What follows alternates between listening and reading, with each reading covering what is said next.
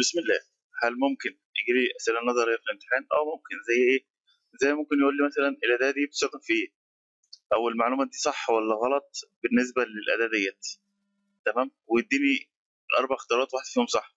أو يقول لي أنهي واحدة من دول اللي خطا اديني الأداة دي ممكن تعمل ثلاث حاجات والحاجة الرابعة الغلط. زي إيه مثلا؟ زي مثلا آه، الجاي جريد. تمام؟ لو إحنا بصينا كده في الشتات guide grid دي بجيبها من view وأقول له أنا عايز أحط guide grid. ما عنديش guide grid قبل كده أول مرة فهقول له okay.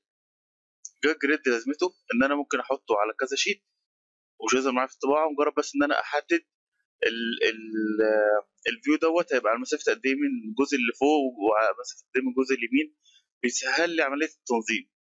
يعني هاجي في ال sheet اللي بعد كده أقول له أنا عايز برضو guide grid أختار نفس اللي إحنا اشتغلنا عليه.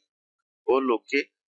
وأبدأ أقول له والله أنا بالنسبة لي مثلا أنا اللي فات كنت حاطه مثلا هنا أروح مظبطه على نفس المكان اللي كان فيه ال sheet اللي قبل كده بحيث إن كلهم يبقى زي بعض. فلما سألني ال guide grid دوت واديني أربع اختيارات آه تنظيم المسافات بين ال sheet ات ولا هل إحنا بنستخدمه مثلا في ال sections ولا بنستخدمه في 3 دي؟ فببدأ أشوف أقول لا ده أقرب نتيجة للشغل بتاعنا إن إحنا بنستخدمه في الشتات